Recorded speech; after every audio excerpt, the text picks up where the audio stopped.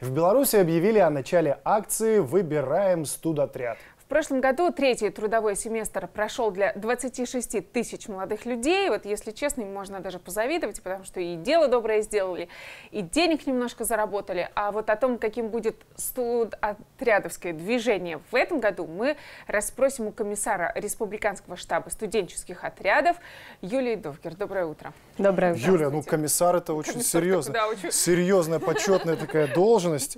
Итак, экологические, сельскохозяйственные, педагогические, технические отряды, строительные. Это все вот как из, из молодости моей мамы.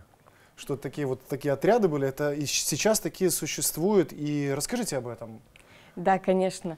А, на данный момент тоже у нас существует семь направлений деятельности отрядов, те, которые у нас охватывают почти все сферы а, деятельности и возможных вакансий, которые мы предлагаем нашим студентам.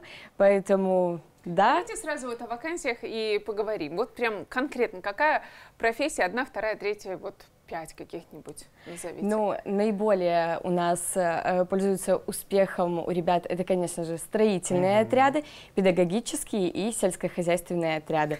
Mm-hmm. Где ребята работают? Только в Беларуси или выезжают? Я помню, что в прошлом году выезжали в Россию, точно знаю, и, по-моему, в Молдову. В этом году уже традиционно мы выезжаем э, в Российскую Федерацию, наши ребята поедут работать. Э, также уже достигнуты договоренности э, с Молдовой, и мы расширяем свои горизонты по трудоустройству на страны СНГ.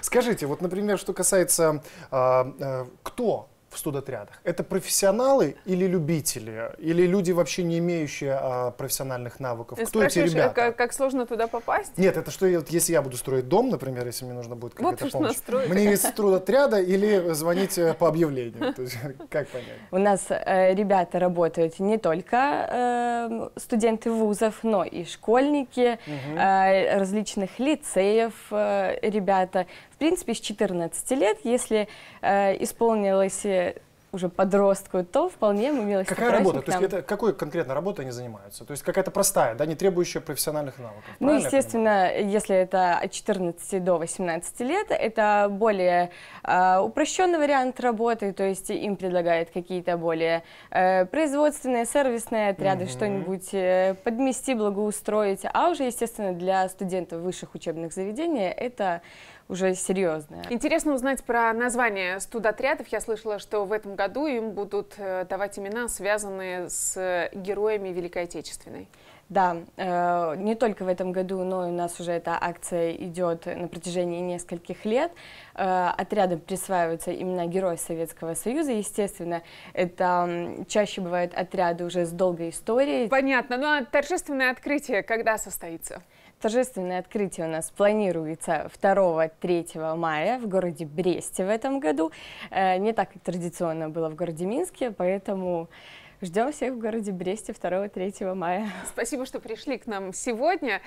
О трудовом семестре 2019 мы говорили с комиссаром Республиканского штаба студенческих отрядов Юлией Довгер.